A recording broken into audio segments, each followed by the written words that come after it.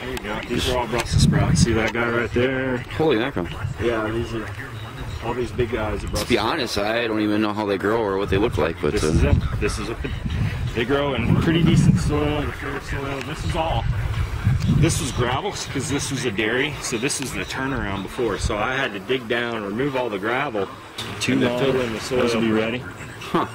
And of course, this is all beyond organic, which means it's going to be delicious. Wait for a good couple of frosts. Uh, they don't really get good until after they frost. That's when they get sweet and delicious, and yeah. But they're growing pretty well. Nice little cauliflower. Cauliflower, yep. This is brewer's grain. This is an experiment.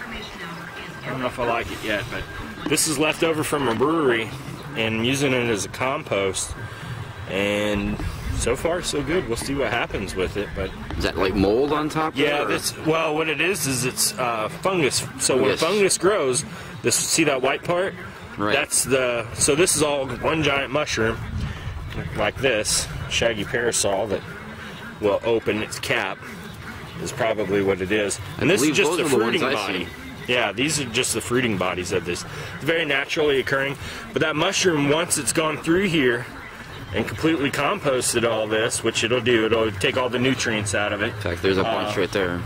then it's yeah, and I soaked those last night. That's what killed them. But um, after the point where you know completely compost and winter takes place, so on and so forth, then it just becomes a nutrient dense mulch. Uh, very very high in nitrogen, so it's like a fertilizer. It is a fertilizer, uh, but also it's uh, you know forms a good hard cake-like structure so that not as much stuff pokes through it reduces my weeding time. This is a, these are all new beds that I made this spring.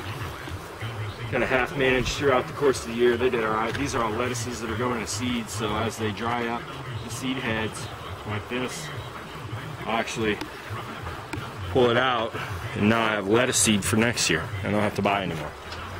There's a bunch of different varieties. Same thing here. This is carrot seed. Carrot seed. Huh. I don't think I've ever seen a carrot get that far. Yep, just little carrot seeds. And uh, just let, you know, there's probably, I don't know, I probably pulled 80 pounds of carrots off of this, maybe a little less, 60 pounds of carrots out of this patch.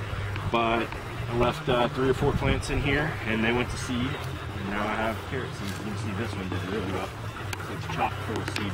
I probably won't have to buy carrot seed ever again. you know, Carrots for life. yeah. Yeah, well, there- there's a famous George Washington quote says, uh, a, a fool is defined as a farmer who buys more seed more than once.